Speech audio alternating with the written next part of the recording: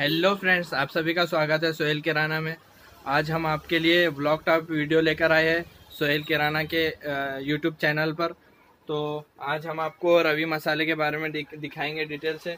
तो आप देख सकते हो, ये है रवि मैजिक रवि मसाले का ये है टमाटो केचप ये आता है आपको पैंतालीस रुपये इसके ऊपर एमआरपी है और ये 200 ग्राम का पैक है।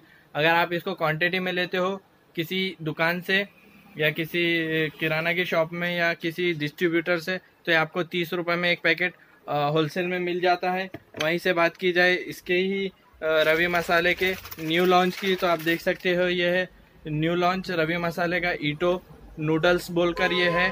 अगर आप इसको क्वांटिटी में लेते हो, एक पेटी, दो पेटी तो ये आपको बीस रुपये से पड़ जाता है। और इसकी सेल की बात की जाए तो ये आता है चालीस रुपये में आपको कस्टमर को पड़ता है।